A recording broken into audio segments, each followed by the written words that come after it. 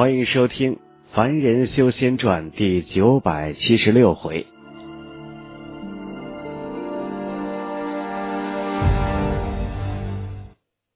听完了江姓老者的话语，这袁瑶是倒吸了一口凉气呀，说话的声音都有些异样了。渡劫气，这、这、这前辈难道是大成期的修士？老夫从万余年前就已经是大成初期的修士了。怎么样？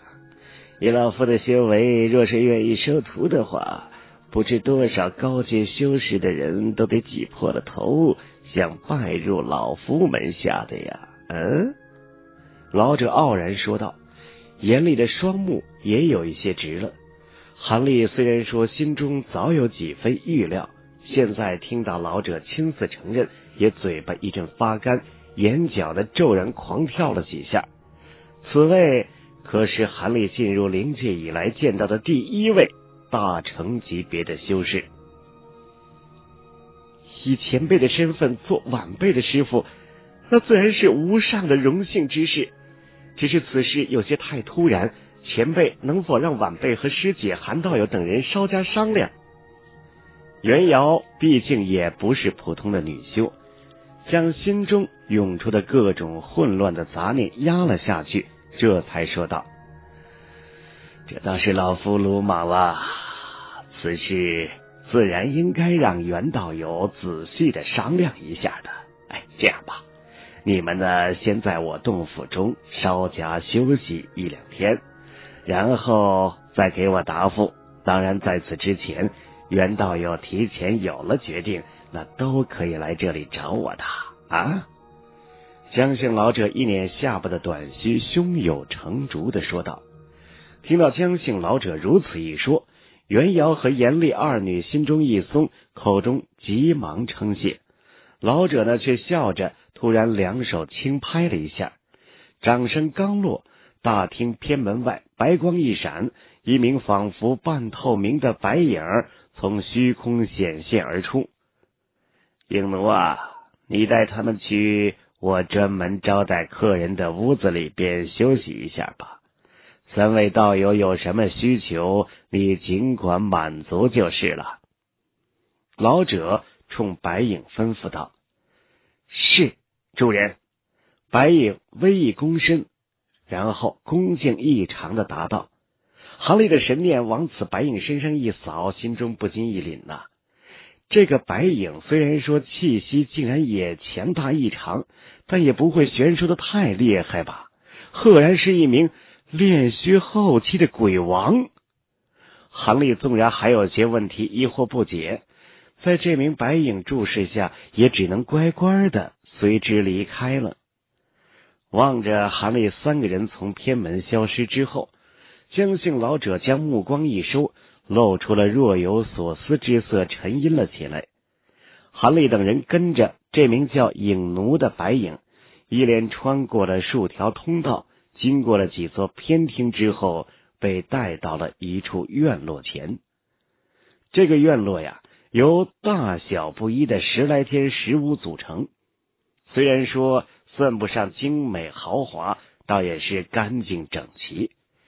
白影没有怎么客气，冲此院落一指，冷冷的说道：“三位就在这里安息吧。另外，忠告三位道友一句：若是没有什么要紧之事，最好不要在府内乱闯。真有什么事情的话，三位可以高呼在下名字三声，我就会立刻感应而来的。”白影说完，身形一晃，就诡异的不见了。留下了韩立和袁瑶等人，互相看了一眼。先进去休息一晚上再说吧。先前就一直马不停歇的赶路，想来二位道友也有一些疲倦了。我看有什么事情，等我们三个人都恢复一些精力之后，再仔细的详说吧。反正有三天的时间，哼倒不急一时啊。韩立长吐了一口气，一扭头冲二女微笑着说道。严厉勉强一笑，嗯了一声，而袁瑶黛眉紧皱，下意识的答应一声。韩立点了点头，就先一步的走进了院子。他来到了靠边的一间石屋前，门上并没有什么禁制，所以呢，一推屋门就走了进去。屋内面积并不算大，只有七八丈而已，但是桌椅床铺样样齐全，都是用普通的青石炼制而成，显得是简朴异常。在屋子一角当中啊，甚至的还有一块。用翠草编织而成的蒲团，静静的平放在那里。韩立眉梢一动，袍袖一抖，十几根阵旗飞射而出，在四周角落中一闪即逝不见了。一层青蒙蒙的光幕浮现而出。这只是一个简易的防窥视禁制，虽然说没有什么实质的防护作用，但不至于让其被暗中监视而不自知的。韩立接着不慌不忙的脱鞋上床，立刻倒头大睡了起来。说起来，自从进入冥河之地以来，他一边要应付冥河之地的鬼物，一边呢还要时刻小心着鬼婆子等人的暗算，还真的就没怎么好好的休息过。如今他虽然不能说对江姓老者完全放心，但是。以对方大成修士的修为，你再怎么小心也是无用的呀。他反而呢不用考虑太多，可以安心的休息了。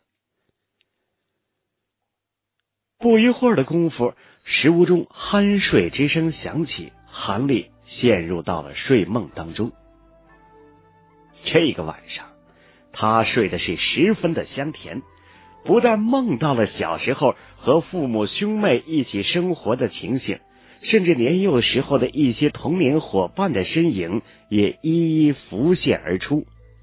只是这些人呐，虽然一个个熟悉异常，但是他们的相貌容颜却在梦中始终无法看清分毫。最后，一对充满柔情的美目出现在了梦中，其主人赫然是南宫婉。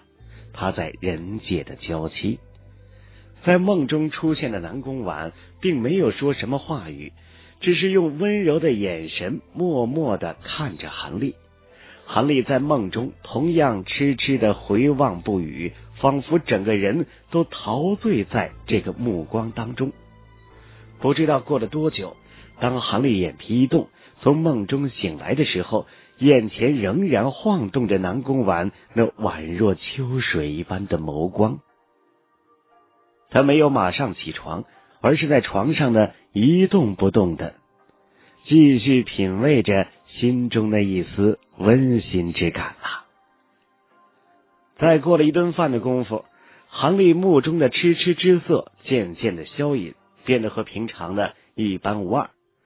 不知道是否巧合，就在这个时候，忽然从门外传来了严厉此女悦耳的声音：“韩兄，可否起床了？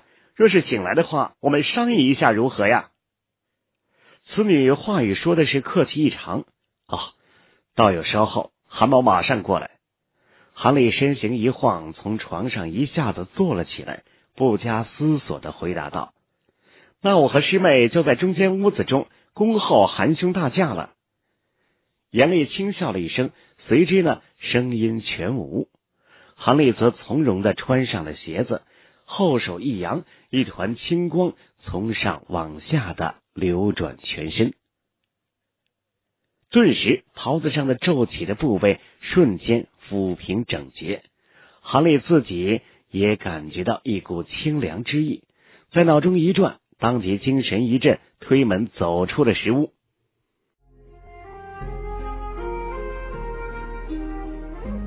畅听网有时候聆听也是一种力量。你的畅听别样精彩，三 w 点听八五点 com。昨天晚上，严丽和袁瑶二女同住在院子的另一端。不知道二女是否先商量的差不多了？韩立心中思量着，走进了院子最居中的屋子当中。一进此屋啊，里面比其居住的石屋大上倍许，同时呢，屋子里边摆放了一张石桌和多把石椅，严厉和袁瑶二人正围坐在桌旁说着什么，而在大厅四角各有一杆黑色的幡旗飘动，一层若有若无的灰芒将整间屋子都笼罩其中了。看来二女先一步在此地布置了一些禁制。韩兄，你来的正是时候，我和师妹啊正在为江前辈之事伤透了脑筋呀。严厉一见韩丽进来了，妩媚的一笑，站起身来。袁瑶目中异色一闪之后，同样起身相迎。哦，看来两位道友已经讨论过此事了。若是信得过韩某。不妨将你们所想直言相告。韩某虽然修为不高，但是自问出谋划策还是不成问题的呀。随后他上前几步，和二女再次落座。其实呢，事情也很简单。以江前辈的身份收我为徒，原本应该是天大的机缘，但是我却更想返回人族，去寻找那重修人身的功法秘术修炼。那长元族的神通纵然再是厉害，也没有办法解除我的半人半鬼之身呐。但是师姐觉得这是一个难得的机会，希望我答应下来。袁瑶先无奈的开口了：“袁师妹，这恢复人身何必急于一时啊？我看呀，你先跟着江前辈修炼一段岁月，等神通大成之后，再返回人族寻找恢复人身之法。”如此良机错失之后，可是再难遇到的。师姐，若是真能以后再恢复人身，我还用考虑这么多干什么呀？师姐也应该很清楚，你我二人自从修炼阴阳轮回诀之后，我二人体质一直在向真正的鬼物一点点的转变着。我二人纵然是极力抑制着，但恐怕过不了多久就会变成真正的鬼物了。我如何能在此地再耽搁下去啊？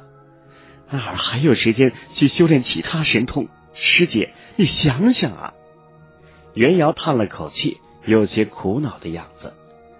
哎，此事我自然知道，所以我才会说让师妹留在此地拜师，我回到人族去寻找那恢复人身的功法秘术，绝对不会耽误师妹的。严厉也叹了一口气，回答道。师姐何必做这掩耳盗铃之事？江前辈话语里边的意思，师姐又不会没有听出来。他下一次天劫似乎就在不久之后。就算我现在一心修炼那长元族的神通，也不过勉强够用而已。一旦拜入其门下，如何能够再分心修炼其他的东西啊？只要我们姐妹能在一起，就算真的变成鬼物，又能怎么样？灵界凶险，师妹又不是没有见识过。我二人就算恢复了人身，说不定哪一天又会陨落掉的。若是如此的话，师妹啊，倒不如在江前辈门下得以庇护，以后神通大成之后，再另行回转人身之法也是不迟的。毕竟我二人成了鬼物之身，和真正的鬼物肯定还是有所不同的，应该还有逆转乾坤之法的。而且说句不客气的话吧。江前辈对师妹如此重视的样子，你若是不答应，恐怕同样的难以轻易离开此地的呀。严厉如此劝说道：“唉，若是真的没有此种逆转的手段，我可怎么办呢？”袁瑶有些异样的望了韩立一眼，接着摇了摇头，一副同意的样子。韩兄，你怎么看此事？我看你也说上两句吧。严厉无奈，只得一转身向韩立求助道：“嗯，二位道友的意思吧，我都听明白了一些。袁姑娘呢，主要是担心以后没有办法回转人身，故而不想现在就拜在江前辈的名下。而严道友觉得这是一个难得的机缘，不想袁姑娘就此放弃。我说的没错吧？”韩立沉吟了一下，冷静的分析道。不错，我二人其实昨天晚上就谁也没有能够说服谁。严厉苦笑了一声，袁姑娘不想成为鬼物的心情，韩某自然理解。严道友不想让袁姑娘放弃此潜在难逢良机的想法，在下也能体谅。二位其实所讲都不算错。韩立微笑着说道：“韩兄，我和师妹找你商量此事，可不是让你和稀泥来的呀。”严厉秀眉一挑，有些不满了：“ 倒有误会了。其实韩某想说的是，袁姑娘和你之间的分歧，并不是没有可能同时解决的。”什么？呃，韩兄此话当真？严厉一愣，随即露出了将信将疑之色。袁瑶呢，也有一些诧异了。此事如此重大，韩某怎会和二位开玩笑的呀？韩立神色一怔，若真有两全其美之法，那自然再好不过了。哎，韩兄不妨直言相告。严厉大喜过望。其实呢，此事根本不用我等操心。二位道友只要将自己的难处直接告诉江前辈就可以了。二位难道忘了，那可是一位大成期的深不可测的存在。对我们来说，极难之事，也许要花费无数的岁月才能完成；但是，对一名大成修士来说，却可能只是举手之劳而已。就算真的没有办法逆转二位的鬼物之身。但保持二位不再继续转化鬼物的手段，也肯定是应该有的。二位道友何不先去问上一问，再做决定不迟啊？听完韩立之言，袁瑶和严厉啊都有一些动容了。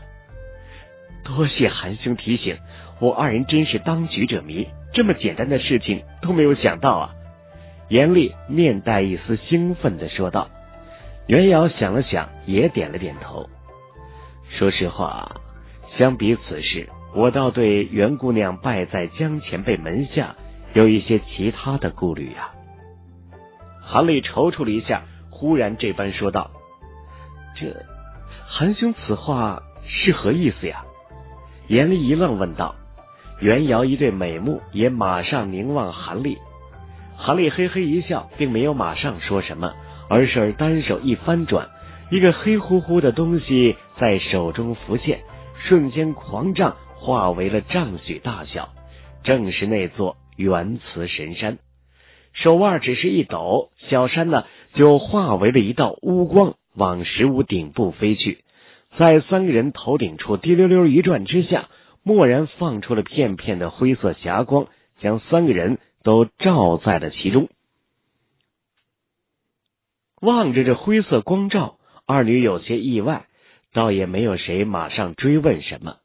韩立这个时候才冷静的说道：“这是我修炼的元磁神光，虽然在大成修士面前不值一提，但有神念侵入其中而不知也是不可能的。下面我要对二位道友所说的话，可能对江前辈有些不敬，但是。”韩某也一向都是先小人后君子，还是要提醒二位一下的。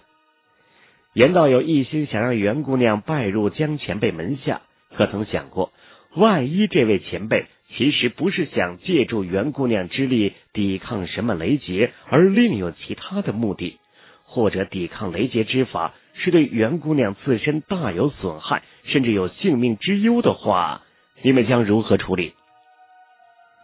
二女互相看了一眼，并没有露出吃惊之色。严厉呢，反而勉强一笑的说道：“韩兄此话有些过了。以江前辈的大成修士身份，怎么会欺骗我等的？”韩立闻言呢，是眉梢一动，凝望着二女片刻之后，这才轻笑着点了点头：“哼，那么看来是韩某多虑了。二位道友既然已经考虑到这个问题，在下。”就不多说了，只是最后再提醒袁姑娘一句：江前辈既然是用商量的口气想将你收入门下，肯定也有他自己的重重考虑，恐怕不好动用什么强硬的手段。袁道友只要把握好其中的分寸，就算遇到什么麻烦，想来呢也能是吉人天相的。多承韩兄吉言。袁瑶苦笑了一声，口中称谢。韩立嘴角一翘，手臂往空中一挥，元慈神山骤然之间呢，就在空中不见了踪迹。一同消失的还有四周的那层灰色的光照。随之，韩立和二女又商谈了其他的一些事情，并对江姓老者身居此地的原因做了一些猜测和分析。看来呀，这位江姓老者很可能是真心想收徒的样子。韩道友，我有些话想和你单独说说，你可愿意听上一二啊？韩立耳边响起了老者的一丝传音，韩立蓦然一惊。哦，前辈有何吩咐，尽管讲来，晚辈一定洗耳恭听。韩立神色一凝，同样传声回答道。一旁的袁瑶和严厉。见韩立和老者嘴唇微动，并没有任何话语之声出口，自然知道二人在用传音之术交谈。他们互望一眼之后，全都识趣的一言不发，静静的在那里等待。其实老夫若没有发现你的女伴竟然身具天音之体，原本呢是打算把你收入门下。让你继承我的衣钵，但是现在我一边已经收瑶儿为徒，一边还要准备应对天劫之事，自然没有办法再分心收你了。这可真的是有些遗憾呐！原本我对你的法体双修之路是很感兴趣的。老者徐徐传音，最后大感可惜的说道。这话传到了韩立的耳中，让韩立心里边是咯噔一动啊！他明白这个老家伙没安什么好心。欲知后事如何，欢迎各位继续关注收听《凡人修仙传》第九百七十七回。